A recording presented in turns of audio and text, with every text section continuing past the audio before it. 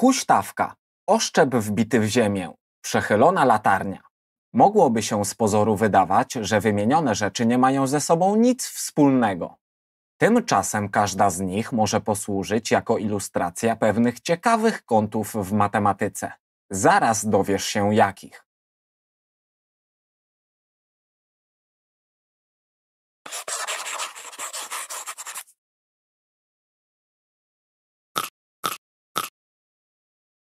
Wyobraź sobie, że to jest chodnik. Elektrycy zaznaczyli w tym miejscu punkt, bo tutaj zamontują latarnię.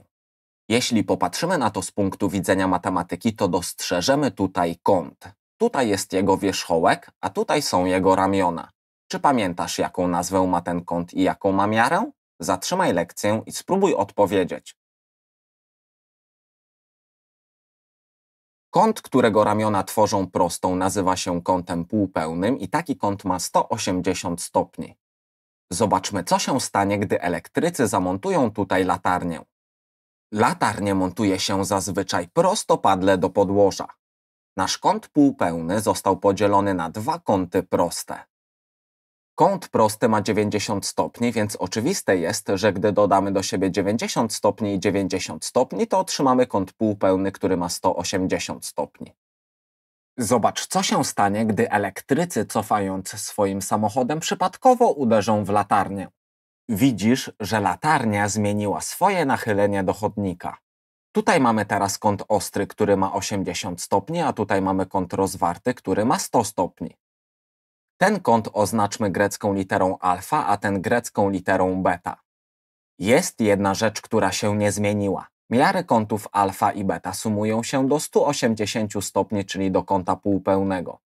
Zauważ, że kąty alfa i beta mają wspólne ramię i wspólny wierzchołek, a pozostałe ramiona tworzą prostą.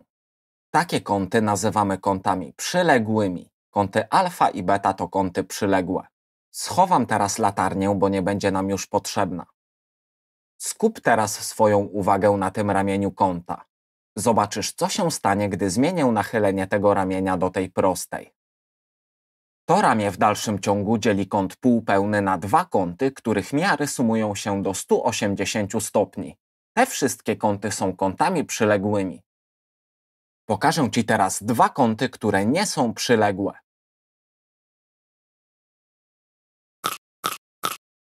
Spójrz teraz na takie dwa kąty. Widzisz, że mają one wspólne ramię. Ten kąt ma 127 stopni, a ten kąt ma 84 stopnie. Czy te dwa kąty są przyległe? Kilka chwil temu powiedziałem, że kąty przyległe to takie kąty, które mają wspólne ramię, ale pozostałe ramiona tworzą prostą. Czy te dwa ramiona tworzą prostą? No nie. Zbadajmy jeszcze sumę miar tych dwóch kątów. Ile to jest 127 stopni dodać 84 stopnie? 211 stopni. Widzisz, że suma miar tych dwóch kątów nie sumuje się do kąta półpełnego. Możemy zatem podać odpowiedź, że te dwa kąty nie są przyległe.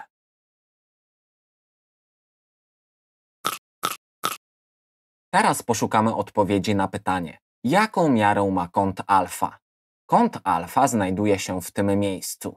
Widzisz, że ma on wspólne ramię z kątem, który ma 60 stopni. Pozostałe ramiona tych dwóch kątów tworzą prostą. Jakimi kątami są kąty alfa oraz 60 stopni? Kątami przyległymi. Oznacza to, że ich miary sumują się do 180 stopni. Innymi słowy tworzą kąt półpełny. Widać to nawet na rysunku. No to ile stopni należy dodać do 60 stopni, aby otrzymać 180 stopni? 120 stopni. Kąt alfa ma 120 stopni i to jest nasza odpowiedź. Jeden z dwóch kątów przyległych jest dwa razy większy od drugiego. Jaką miarę mają oba kąty? Popatrz na rysunek, na którym są kąty przyległe. Ten kąt jest dwa razy większy od tego kąta. Co to tak naprawdę oznacza? Skoro ten kąt jest dwa razy większy od tego kąta, to aby zbudować ten kąt potrzeba dwóch takich kątów. Oznaczmy sobie ten kąt grecką literą alfa. Zielony kąt oznaczmy grecką literą beta. Z treści zadania wiemy, że kąt beta jest dwa razy większy niż kąt alfa. Możemy zatem zapisać, że 2 alfa równa się beta. Wiemy też, że kąty alfa i beta to kąty przyległe, czyli ich miary sumują się do 180 stopni. To, że kąt beta jest dwa razy większy niż kąt alfa oznacza, że aby zbudować kąt beta potrzeba dwóch kątów alfa. Tutaj mamy również kąt alfa i tutaj również mamy kąt alfa. Co za tym idzie? Do zbudowania kąta półpełnego potrzeba trzech kątów alfa. 3 alfa równa się zatem 180 stopni. To jaką miarę ma jeden kąt alfa? Jeżeli 3 pomnożymy przez 60 stopni, to otrzymamy 180 stopni. Kąt alfa ma 60 stopni. To jaką miarę ma kąt beta? 2 razy 60 stopni, czyli 120 stopni. Znamy już odpowiedź na to pytanie. Kąt beta ma 120 stopni, a kąt alfa ma 60 stopni. Widzisz, że oba kąty sumują się do 180 stopni. Wszystko się zgadza. Gratulacje!